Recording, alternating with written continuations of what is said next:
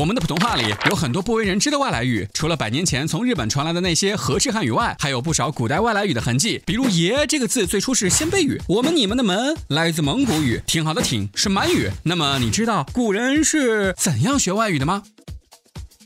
先秦时期，中原周围有一些不讲华语的人，这就需要懂外语的人来搞翻译了。在《周礼》里，这些翻译人员统一叫做蛇人，听起来地位不高吧？不过，相比管狗的叫犬人，管猪的叫屎人，好多了，只比管牛的叫牛人逊一点。蛇人用途其实也不多，因为那时候外面的人要跟中原人打交道，还是得主动学华语。像洛阳城周边的戎人，不仅熟悉《周礼》，还能把《诗经》背得溜溜的。南方楚国人的话跟华语大同小异，所以屈原的诗虽然有些词比较怪，中原。人大体还能懂，不过孟子就搞地域歧视，说他们是鸟语。到了更南边的越国就大不一样了，话不翻译，听起来简直就是火星语。不信您感受一下春秋早期的这首《越人歌》：烂溪遍草烂，与昌户则与昌周周。周焉乎秦区须漫与呼朝蝉秦于甚提随河湖。坑爹呢这是！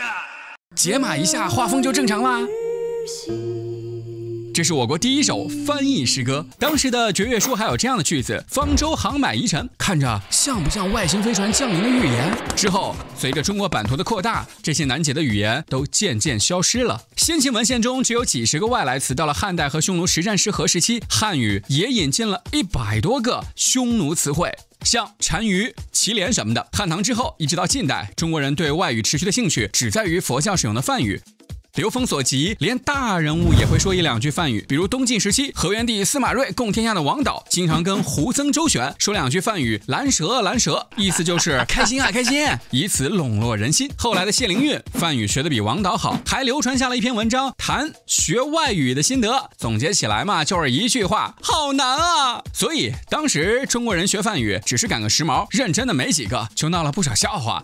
比如我们的中元节又叫盂兰盆节，盂兰盆是音译，意思就是上下颠倒，是印度人认为的一种受苦状态。不过外语不学好的中国人可不管，最后真的整出一个盆子来超度亡灵。真正称得上外语绝佳的中国人，大概只有南朝的法显、唐代的玄奘等少数几人了。玄奘在长安带了一大帮外语人才。不过别看《西游记》里唐太宗玉帝玉帝叫的亲热。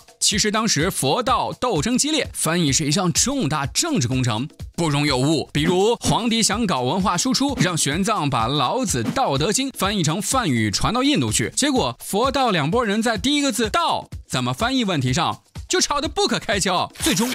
没能议成。唐宋以后，人们对翻译佛经的兴趣越来越低，持续影响汉语的梵语也渐成绝学了。直到二十世纪，人们对学外语都没什么特别的兴致。古代政府不仅禁止教外国人汉语，也不鼓励国人学外语，只开设了一些专门翻译机构，但他们在读书人心目中声望很低。这种现象一直到一九零五年废除科举后，学外语才变成正经事儿。更多精彩内容，请订阅梨视频动历史栏目。